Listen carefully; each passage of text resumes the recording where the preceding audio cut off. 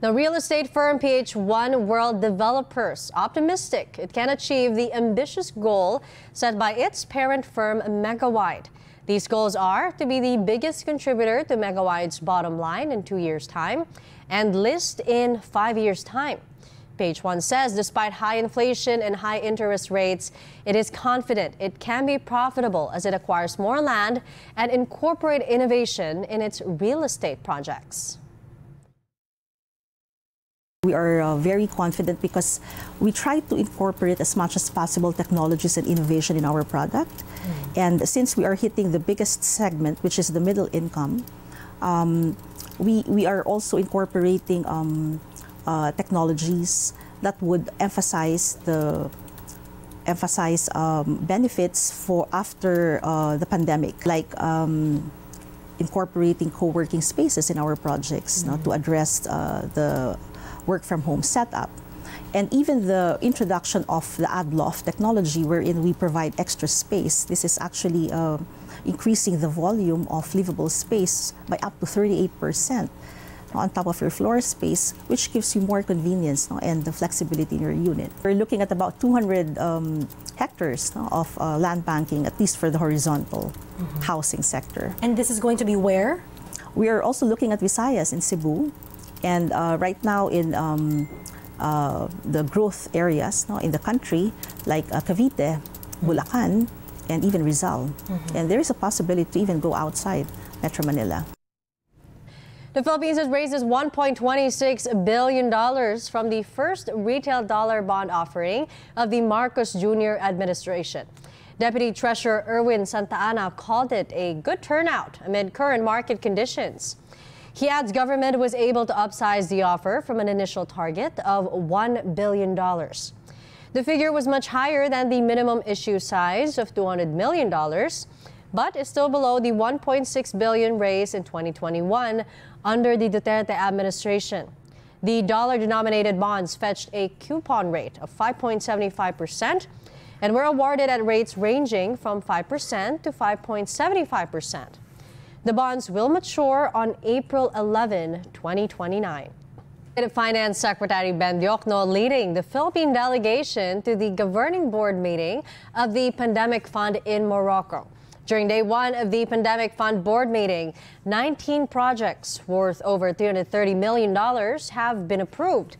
The Pandemic Fund is a global partnership launched last year at the G20 meeting that's focused on financing projects in pandemic prevention, preparedness, and response. Now, this comes ahead of the annual World Bank and International Monetary Fund meetings, which officially begin this week in Morocco. This is the first time they will be held on African soil in 50 years. Aid for poor nations plunge in debt and climate change are expected to take center stage. Other news now, a crushing debt crisis has some of the world's poorest countries facing massive budget cuts. That figure, according to Oxfam International report, expected to top $220 billion over the next five years, pushing dozens of nations to the brink of default. The report also found that on current terms, low and lower middle income countries face nearly half a billion dollars a day in interest and debt repayments through 2029. Oxfam called on the International Monetary Fund and the World Bank to use the crisis to create a fairer system instead of focusing on debt restructure and spending cuts. A record number of developing nations are in debt distress due to rising global interest rates, soaring inflation, and economic shocks following the COVID pandemic. A special concern in global commodities today from the conflict in Israel. Oil prices were up Monday by as much as $4 per barrel as the violence in the Middle East rattles the markets. This reverses last week's downtrend where oil prices saw their largest weekly decline since March. Looking at oil futures now, Brent oil is poised to trade nearly $87 per barrel, while West Texas could cost $86 also per barrel. Also adding to supply woes, Saudi Arabia and other Arab states reaffirming over the weekend their commitment to voluntary adjustments in oil production. The oil ministers of six Arab nations met in Riyadh Sunday on the sidelines of a United Nations climate event. The acting Philippine migrant workers chief says five Filipinos remain unaccounted for in Israel. DMW Officer in charge Hans Leo Cacdac says they are still trying to reach these five Filipinos since communication remains a challenge in the country.